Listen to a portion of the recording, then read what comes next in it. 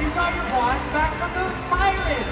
We solved all the clues. Everybody, now that Tinkerbell is back, it's time to have a huge celebration with all of our friends here in Melbourne.